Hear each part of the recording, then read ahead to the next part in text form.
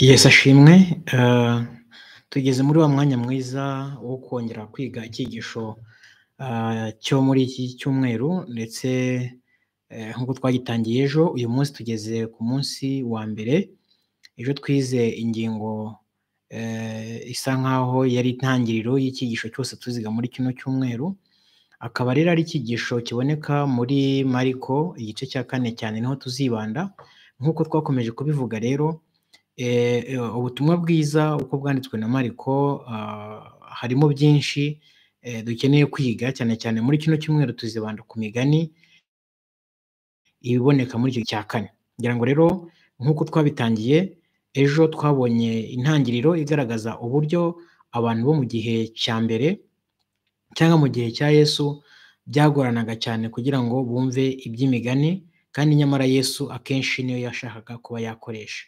Uyu mwanya rero eh, ndabasaba yuko dufatanya kugira ngo eh, uyu mwanya tugiye kwiga icyigisho gikurikiraho, dusabe umwuka w'Imana abane natwe kandi aduhe imbaraga zo kurushaho gusobanukirwa neza n'ijambo ry'Imana ndetse tugaruke kuri uwo murongo wo kuvuga ngo abantu bo mu gihe cya mbere bari bafite ukuntu bumva ibyo Yesu yababwiraga, natwe uyu mwanya biduhe eh, imbaraga zo kurushaho gusesengura cyane ndetse twimbike tubashe gusobanukirwa n'icyo Umukiza atwifuzaho. Mbere y'uko rero dukomeza reka tubanze twiragize Imana. Mana nziza kandi Imana ikomeye turagushimye cyane, tugushimiye ko wabanye natwe ukaba wakomeje kuturinda, uyu mwanya tukaba tugiye kureba amagambo yawe nk'umutsima w'ubugingo wo kutubeshaho umunsi ku munsi, nuko rero turagusabye kugira ngo umwuka wera azabane natwe, ubwo tugiye kwiga iki cyigisho kibashe kutugira ubuntu, kirusheho gutuma turushaho kumatana nawe ndetse eh, bigaragare mu mibereho yacu, ni byo tugusabye kandi tukwinginga mu izina ryawe Yesu, amen.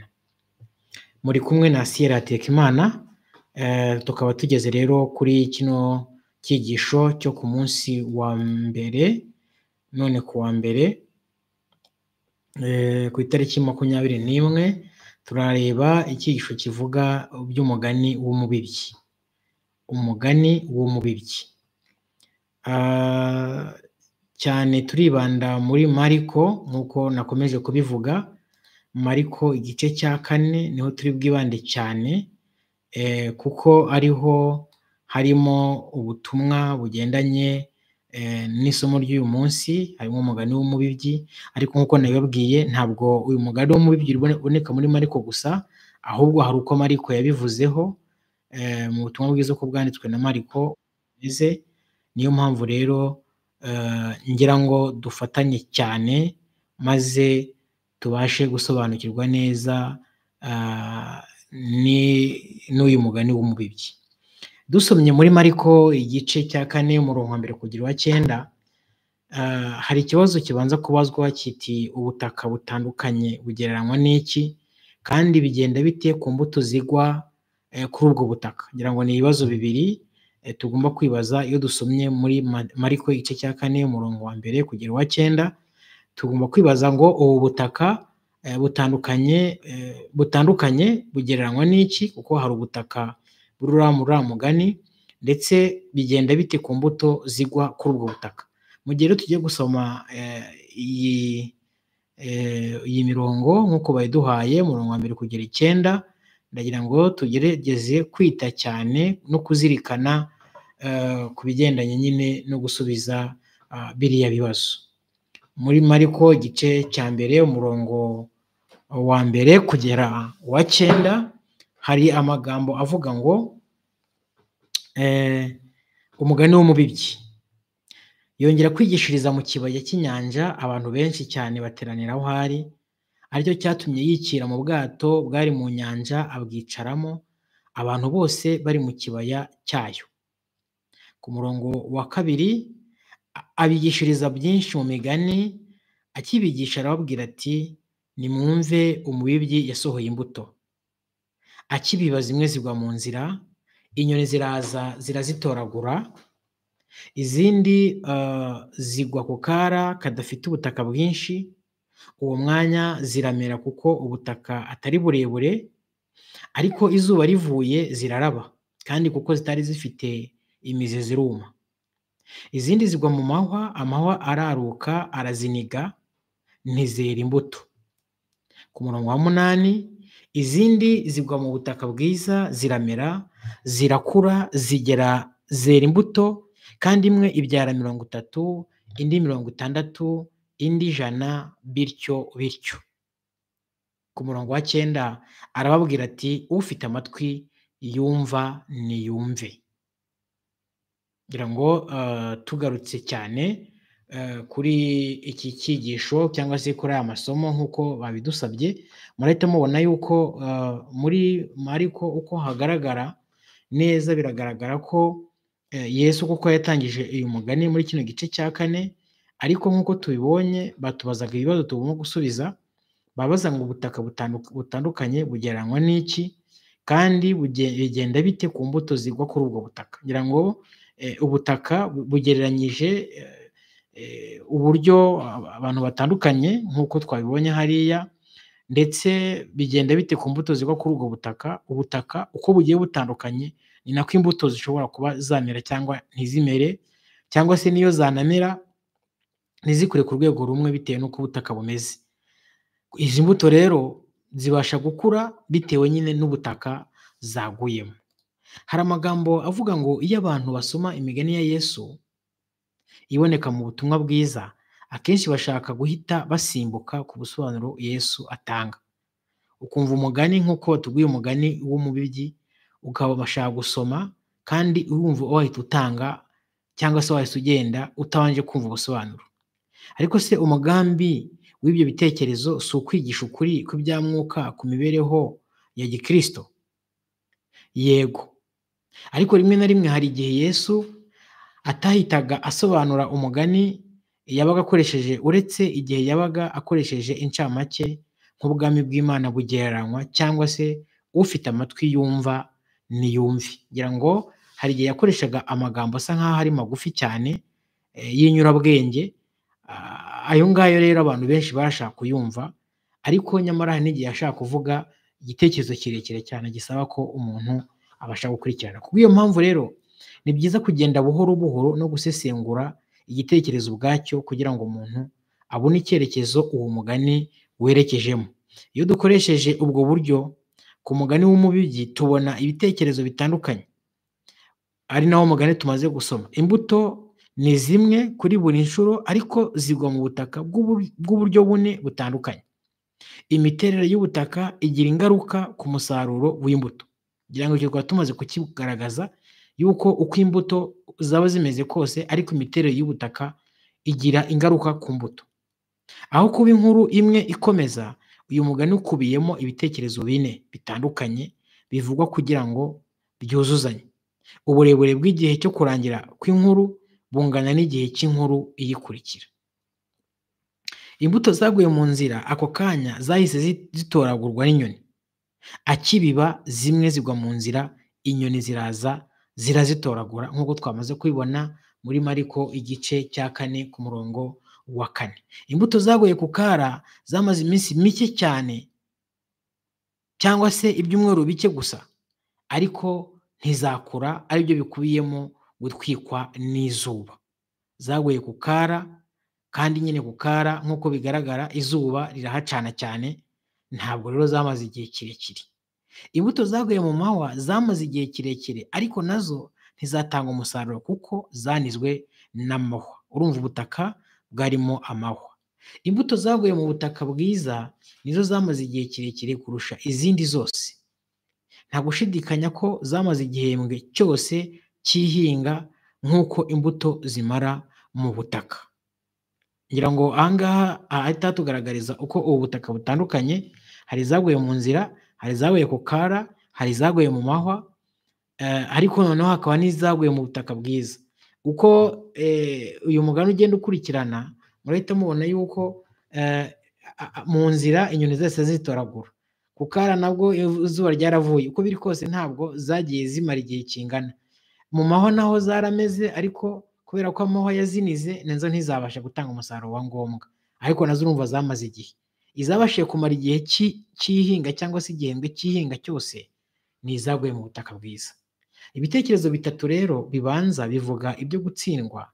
Icya nyuma ni cyo ki- ibitekerezo bi- bitatu bibanza bivuga ibyo gutsindwa. Icya nyuma ni cyo kwiga ibyo gutsinda. Imbuto zatanze umusaruro mwinshi. Uburebure bw'ibitekerezo igihe kirekire cyane kurusha ibindi cya buri gitekerezo. Ni ukuri kuvuga ko igitekerezo kimwe gusa ariyo kivuga ibyo gutsinda. Byose bigaragaza eh, byose bigaragaza akaga ko gutsindwa ariko bikavuga n'umusaruro mwiza uva mu gutsinda. Uwo mugani usa n'ugaragaza ikiguzi cyo kuba umwigishwa ndetse n'akaga kabirimo ariko kagaragaza n'ingorano nyinshi zo gukurikira yesu. Ni ayahe masomo yandi y'ibyamwuka dushobora kwigira ku byaremwe? Ngira ngo ahangaha ni ho twongera kugarura igitekerezo kugira ngo tubashe gusobanukirwa neza. Eh, mu gihe tugeze kuri uyu mugani hano hari ibitekerezo byagiye bigaragara byo gutsindwa ndetse no gutsinda. Hari ugutsindwa no gutsinda ariko noneho ushobora no kugera igihe ugatsinda. Uko bigaragara murabona neza yuko uyu mubibyi yahuye n'ingorane zikomeye cyane. Yasohoye imbuto mu buryo bugiye butandukanye azitera mu butaka butandukanye kandi ahantu hageze muri hatatu ntabwo hamuhiriye cyakora ha kane haramuhiriye kandi binamara n'igihe harimo igihe cyo gutegereza. Aha rero bigaragaza ikiguzi cyo kuba umwigishwa nyakuri.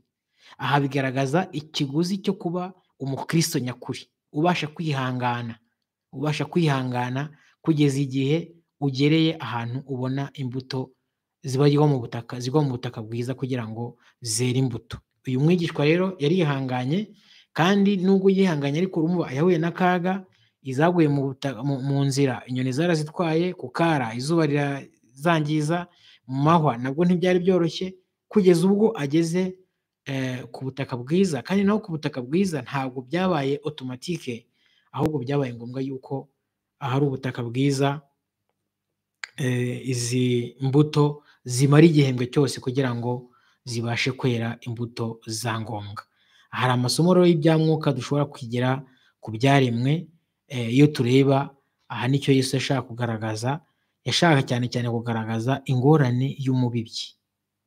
Umubibyi cyangwa se umwigishwa. Kuba umwigishwa ntabwo byoroshye. Biragoye. Ariko akaga kabirimo nubwo kaba gahari hari ingororano nyinshi mu gihe twabashije gukurikira Yesu.